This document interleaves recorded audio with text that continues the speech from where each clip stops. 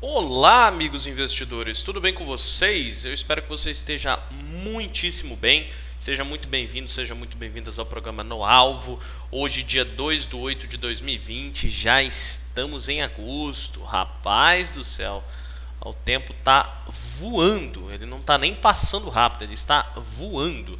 Então, Sejam muito bem-vindos ao canal, certo? Essa é a nossa análise semanal. Meu nome é Luciano Souza, eu sou engenheiro mecânico e professor particular de investimentos.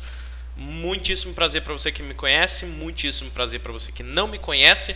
Lembrando, todas as análises têm cunho totalmente educacional, não devem ser é, replicados, tomados como base ou seguidos, ok? Segue abaixo as minhas redes sociais. Bom, então vamos lá. Uh, pessoal, Muita gente, quero agradecer demais, já estamos chegando a quase 600 visualizações na aula de ontem. Se você não assistiu, tá aqui embaixo no canal. Aula para o grupo fechado ontem, que aí posteriormente vem para o canal aberto também. Quero agradecer muito o feedback de todo mundo, foi simplesmente sensacional. Os comentários super positivos, ah, pô, foi, foi simplesmente sensacional. fico muitíssimo feliz de contribuir de uma forma tão genuína para a vida dos investidores, pessoal. E muita gente também está com dúvida do que, que oferece o grupo fechado, né? Então vou explicar rapidamente aqui, pessoal. Análise day trade postada ao vivo durante o pregão, índice dólar, ações, mercado internacional. Análise swing trade postada também durante o mercado. Position trade, análise de operações estruturadas com opções, análise de operação estruturada de ação mais opção, direito de pedido de análise durante o pregão e para o vídeo diário e semanal uh, notícias relevantes do mercado através de aplicativos de notícia. Mando também o meu arquivo do Profit todos os dias para que você possa ter tudo que eu tenho no meu Profit de, de alarmes, de estudos e tudo mais, você vai ter também. E se vocês me permitem, eu vou colocar um rock para tocar. Aí, maravilha. Então, uh, tudo isso vai incluir no, no, no grupo fechado, tá? E lembrando, nenhuma análise recomenda indicação ou, ou é, call de nada, tá? Eu estou simplesmente compartilhando os meus estudos, o racional e tudo mais. E o valor R$ 59,80 mensal, tá bom? Maravilha. E outra grande pergunta que me fizeram de ontem para hoje foi como vai ser a imersão do sábado que vem. Pessoal, a imersão são 10 horas de aula, iniciando às 8 horas da manhã, horário de Brasília, pausa de 1 hora e 45 para o almoço e mais dois intervalos de 15 minutos à tarde e de manhã. As aulas são pelo Zoom, tá? A turma são de 10 pessoas, se não tiver quórum eu vou fazer com as que já tiverem, ok? É, são 10 horas de aula, mais um mês no grupo fechado, então quem fizer a imersão ganha também o grupo fechado. O valor, 800 reais, isso sai um desconto aí para se você fizer aula particular de 37,5%, tá bom? E o que a gente vai abordar? Tudo isso daqui, ó, informações relevantes, eu vou passando devagarzinho aqui, e se você tiver curiosidade, pausa aí o vídeo e você pode ver o que, que é que eu vou abordar, entendeu? Então começa desde o do início do que é análise técnica, estrutura de mercado, Fibonacci e tudo mais. Então a gente vai abordando tudo de uma forma bastante esmiuçada, ok? Então se você deseja fazer, vai ser agora dia sábado, dia 8 de agosto.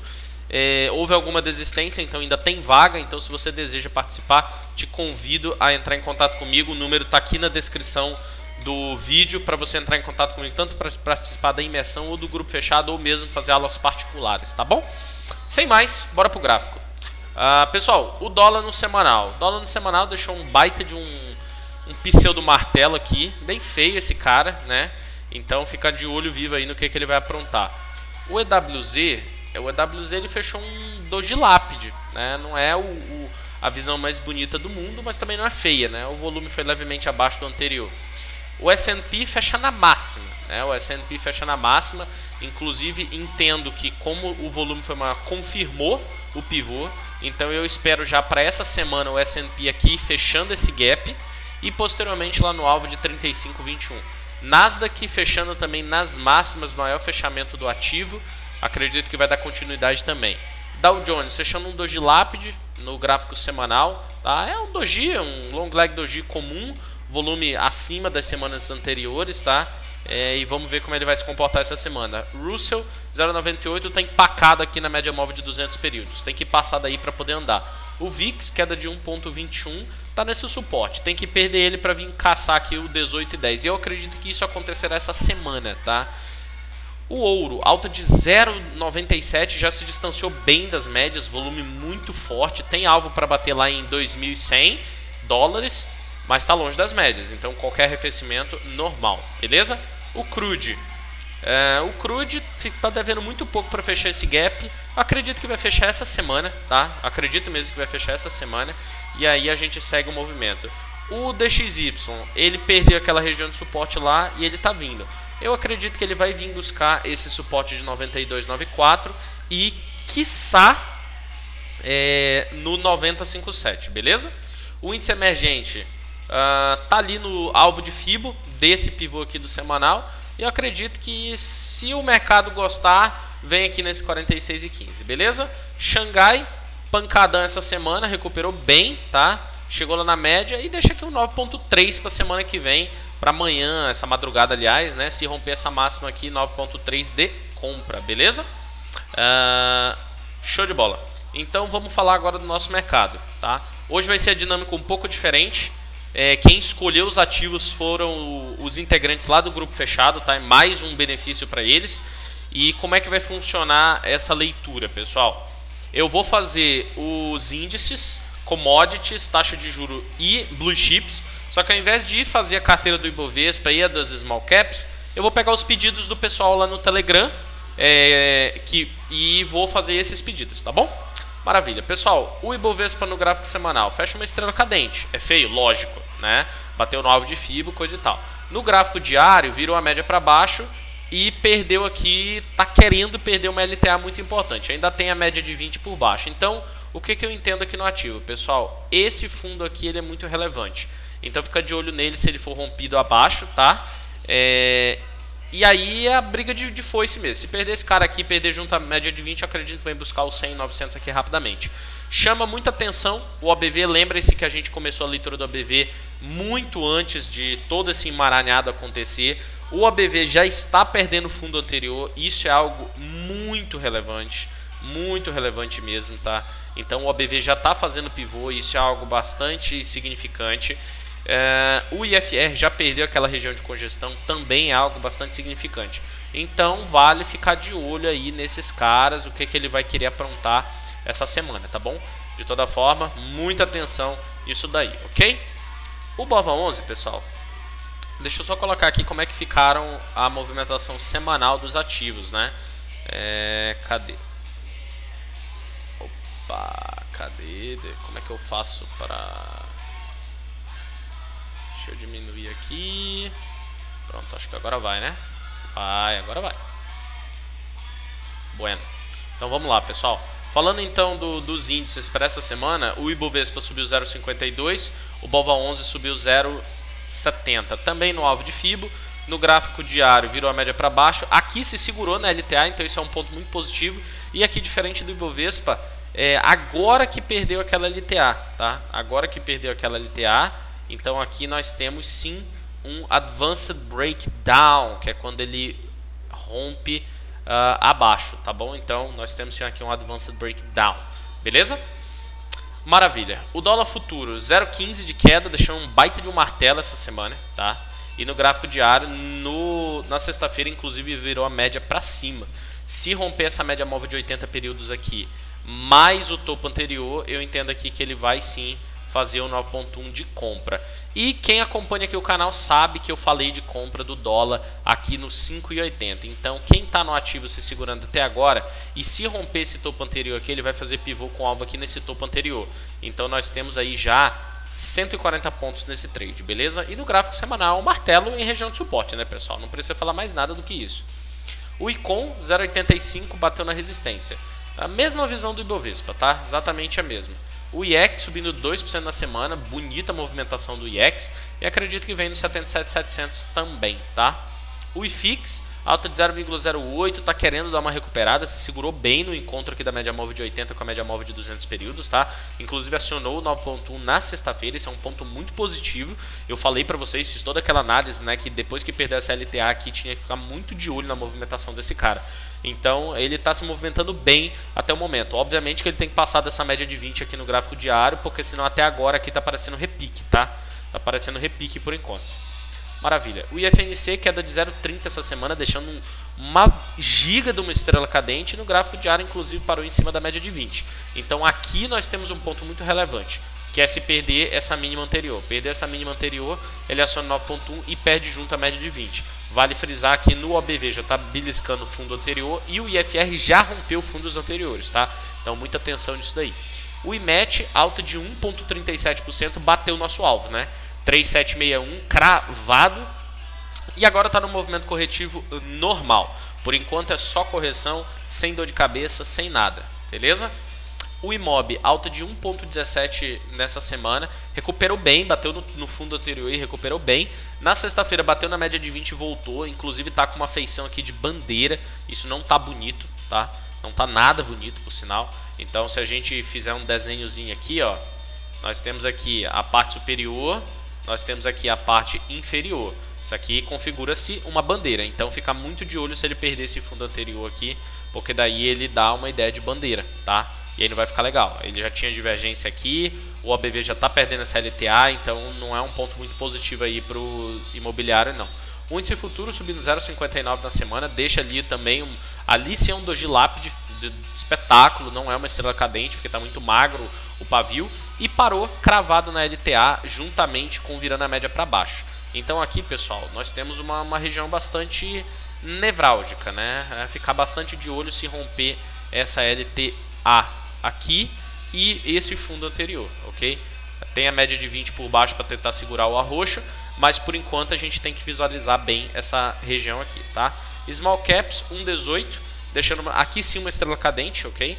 E no gráfico diário veio, fez pullback, virou a média para baixo agora. Se perder essa mínima aqui, aciona 9.1 de venda e perderia junto a média de 20. Então muita atenção aqui nos, nas small caps, tá? Muita atenção. O IFR já perdeu fundo, inclusive fazendo pivô, e o ABV também. Então, muita atenção nisso daí, beleza?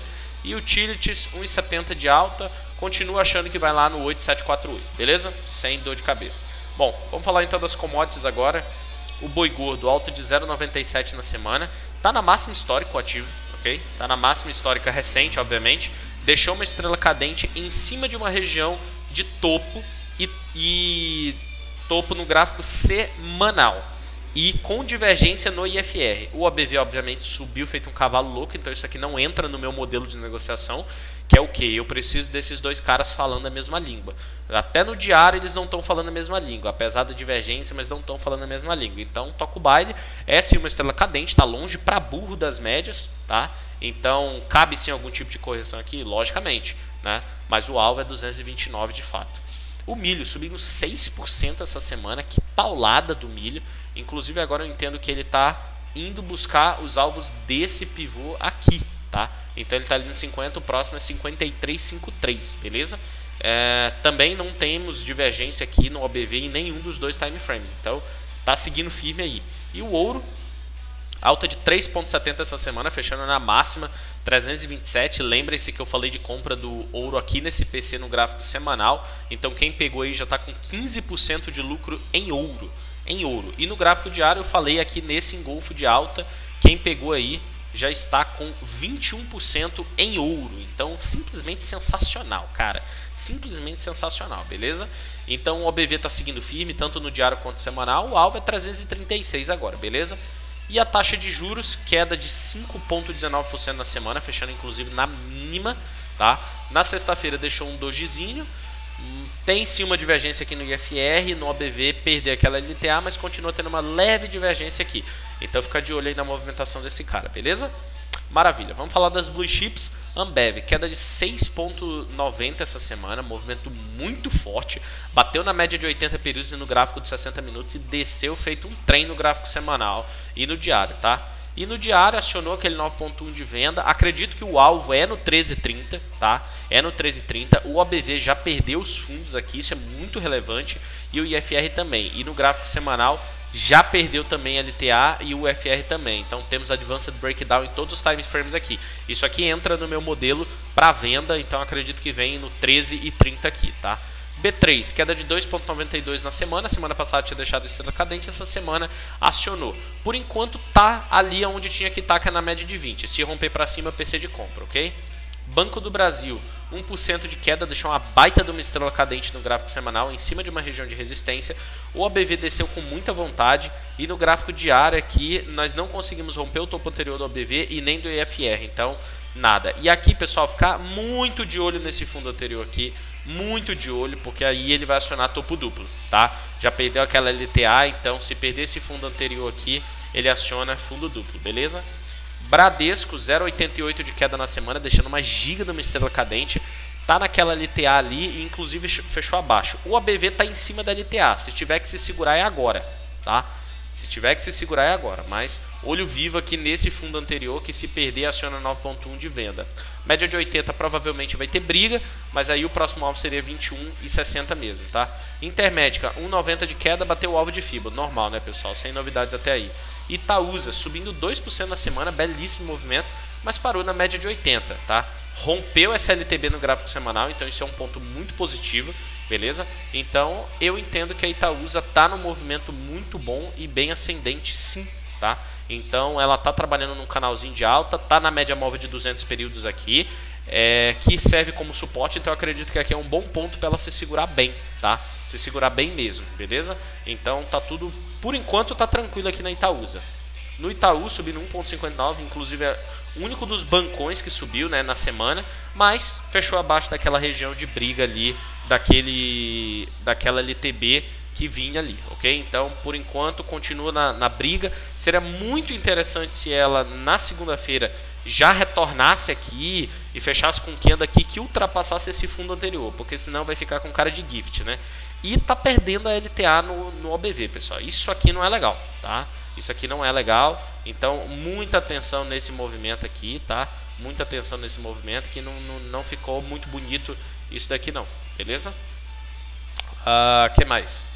É, JBS caindo 2,40 na semana, feio o movimento dela, mas continua lateral.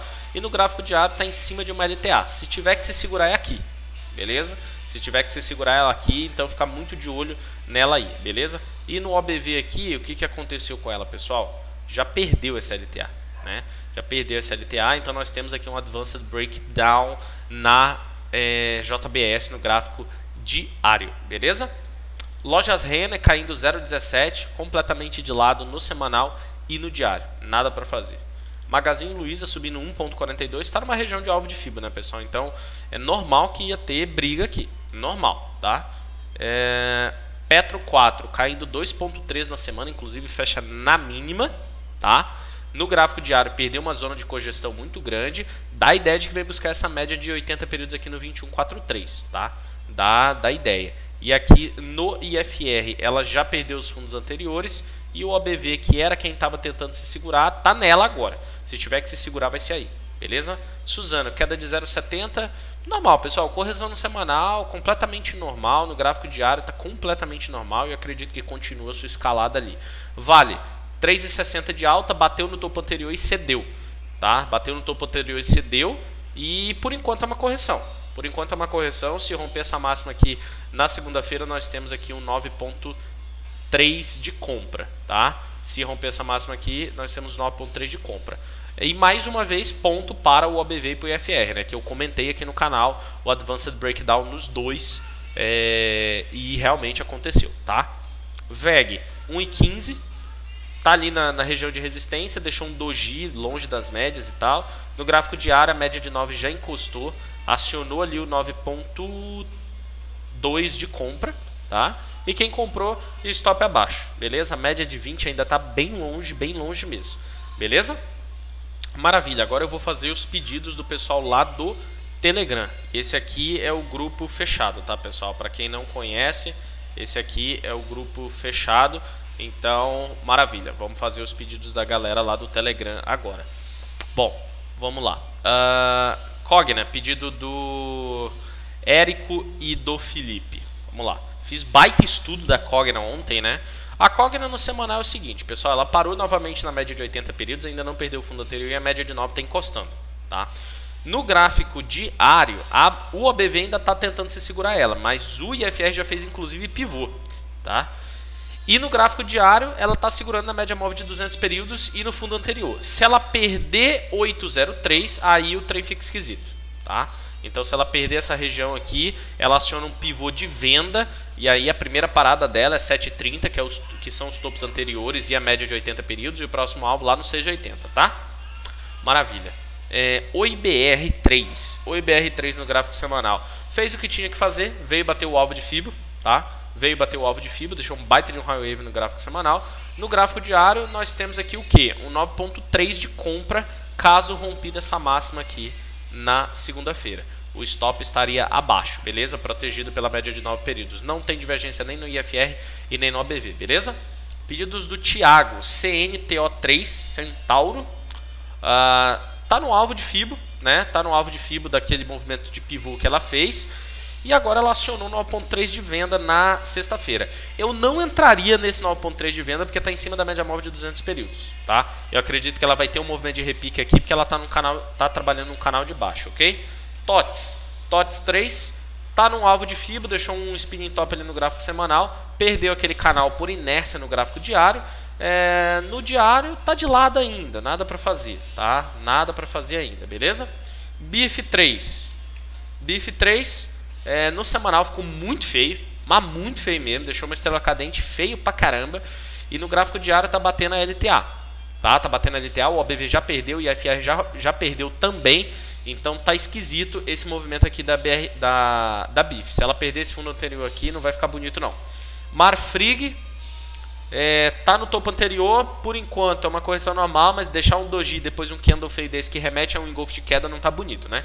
E no gráfico diário, ela chegou a ameaçar o fundo anterior, mas bateu na média de 20 e deixou ali um candle de retorno, tá? Tem uma divergência assim no IFR, no OBV não tem divergência, então para mim esse casamento aqui não vai, tá? Pedido da Priscila, TASA 4.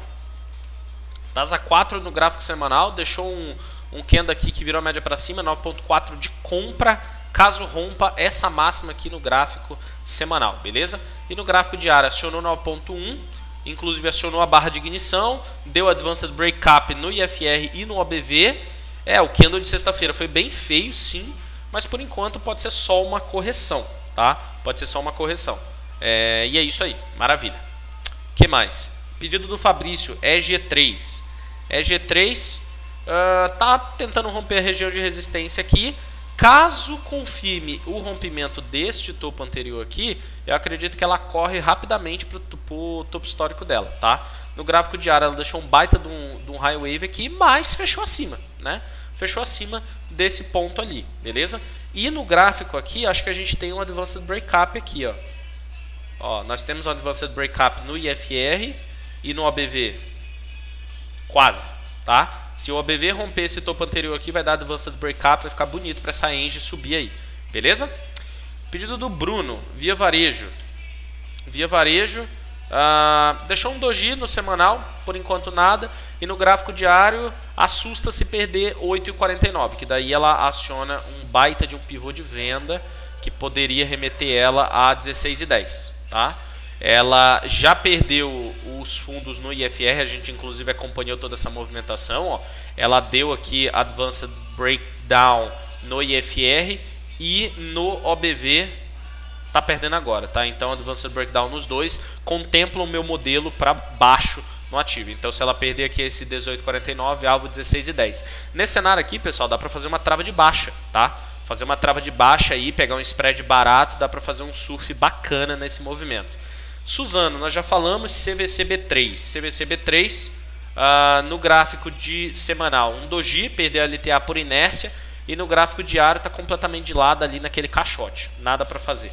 JHSF, uh, ah, JHSF deixou um doji no gráfico semanal, perdeu a LTA por inércia, mais uma vez, o Advanced Breakdown no IFR e no OBV, tá? Então fica de olho nela aqui nesse fundo anterior. Se ela perder esse fundo anterior, aí fica esquisito o negócio para ela aí, beleza? Uh, que mais? Vídeo da Michelle, BRF, BRFS3, tá ali. No gráfico semanal, deixou um spin top. No gráfico diário, ela fez o que queria, né? Tentou romper, não foi, voltou. No cenário ideal, agora ela está fazendo uma retração para poder voltar a subir e romper esse topo anterior aqui. Porém, ainda não dá para a gente afirmar que isso vai acontecer. E ela virou a média para baixo aqui, tá? Então não ficou muito bonito não, tá? Não ficou muito bonito não. Ciel, Ciel a gente surfou bonito o movimento dela na sexta-feira, né? Deixou um baita de um candle bonito no semanal e no diário deixou uma barra de ignição espetacular, tá? Deixou uma barra de ignição muito bonita e se romper essa máxima aqui, deve andar forte aí. Barra de ignição mais 9.1 de compra, beleza? O IBR nós já falamos, que mais? Clabin e CCRO. KLBN 11, pedido de Josiane. É, no gráfico semanal deixou um candle bem feio, no gráfico diário perdeu a média de 20, inclusive acionando um 9.4 de venda. Ficou bonito não, tá? Se confirmado esse movimento aqui, quem pode tentar segurar esse ativo aí agora vai ser justamente essa LTBzinha aqui curto prazo, tá? Deixa eu tirar o, alguns estudos daqui para ficar mais limpo o gráfico. Essa LTB, essa LTA aqui, ó, que foi onde ela cravou na sexta-feira, tá? Então, se respeitar aqui, vai ficar bonita para ela retornar acima, tá? CCRO, CCRO, nós temos aí o ativo na semana respondendo bem, deixou um candle bonito aí, tá? E no gráfico diário também deixou um engolfo na, na quinta-feira e acionou. Eu acredito que aqui a CCRO dá um trade de guerrilha aí se romper esse topo anterior com alvo na resistência, tá? É, pedido do Audivando, Embraer, Embraer, feio, perdeu fundo no gráfico semanal, ativou o PC de venda e perdeu fundo no OBV, tem sem chão, completamente sem chão, tá? Tem espaço para cair mais. É, aí não, não tem o que fazer não, tá? Se ela tiver que ter alguma reação, tem que ser rápido e com um sinal forte, um martelo, um engolfo, um harami, aí ela fica bonito. Por enquanto tá bem feio mesmo, beleza? O IS. O IS no semanal, tá de lado no gráfico é, diário, ela tá muito entrevada aqui nas médias, então nada para fazer por enquanto, tá? Pedido do Rodrigo, Amar 3, Marisa bateu no, no, na região de resistência, é, de suporte, aliás, fundos anteriores, e já são 1, 2, 3, 4, 5, 6 sessões que ela bate nessa região e não consegue passar. Inclusive na sexta-feira ela recuperou bem. Então eu entendo que se ela passar desse topo anterior aqui, ela pode dar correria para cima, tá? Então talvez seja uma oportunidade aí para quem busca entrada no papel. VEG, nós já falamos. Uh, maravilha. Quem mais aí? Tem mais pedido? Tem. Pedido do Fábio, Iduque. Iduque. Completamente de lado no semanal, no diário também. Tem que esperar romper esse caixote aí, tá? MYPK. É, cadê? MYPK. Yoshi. Bom, acionou aquele ombro cabeça a ombro, veio fazer pullback e o alvo continua 11,80 sem mais, tá? Enalta, Enat 3. É, Bom, no mundo ideal, ela, tá, ela fez um, um recuo para acionar pivô agora na semana que vem, tá? No mundo ideal ela fez isso. E quando vai ser o acionamento desse pivô? Ela rompendo esse topo anterior aqui, tá? Então ela rompendo aqui, veja que ela veio exatamente na média móvel de 200 e no 618. Então ela rompendo esse topo anterior aqui, ela pode projetar rapidamente a 12 reais. Então fica bonito esse movimento aí dela. HGTX, Cias Hering, deixou um doji no semanal e no diário tá brigando ali para não acionar aquele pivô. Tasa, nós já falamos, Elet meia. Elet meia tá no alvo, por enquanto tá fazendo uma correção lateral. No diário tem que ficar de olho nesse fundo anterior aqui para ela não fazer topo duplo, tá? Então muita atenção nesse topo, nesse fundo anterior. E o pedido do Ericsson, Cielo, nós já falamos, Pomo 4. Pomo 4 é, deixou um movimento bonito, no semanal, fazendo um retorno bacana. No diário, ela acionou 9.1 de compra, fez um trade aí no gráfico de 60 minutos. Agora eu acredito que a Poma ela vai andar de fato quando ela resolver romper esse 303. Aí ela desgringola mesmo, tá? BRSR6, Banrisul. Uh, que andou feio no semanal e no diário mais ainda, né? Se segurou naquela LTB e veio abaixo com bastante vontade. Ficar de olho se perder essa região de suporte aqui. Beleza? Positivo, positivo no gráfico semanal, se segurou naquela LTB fielmente e no gráfico diário também está se segurando lá. E Bradesco nós já falamos, tá bom? Pessoal, espero que você tenha gostado desse vídeo. Desejo a você uma excelente semana de bons negócios. Uh, que seja uma semana muito abençoada a todos nós. Te convido a entrar no grupo aberto, tá aqui na descrição do link. Lá a gente bate papo a semana inteira. É um grupo totalmente público, gratuito e aberto, beleza? Convide as pessoas a vir fazer parte do grupo que sempre tem conteúdo muito relevante para passar para elas, sempre, tá? Não opere sozinho, isso é uma coisa muito importante, beleza? E para você que deseja participar da imersão, entre em contato comigo, entrar no grupo privado, entre em contato também. E é isso aí, time. Uma excelente semana a todos. Fiquem com Deus. Quem não assistiu a transmissão de ontem, convido a assistir. Tá aqui, ó. Deixa eu abrir ela aqui para vocês, tá? Ó, é essa transmissão aqui de ontem, beleza? Então, se você ainda não assistiu, te convido a assistir. É só entrar aqui no canal. Ó, professor Luciano Souza vai estar tá aqui, ó, aula para o grupo fechado, ou você vem aqui nos vídeos e vão estar aqui também, beleza? Pessoal, um forte abraço a todos, fiquem com Deus, valeu!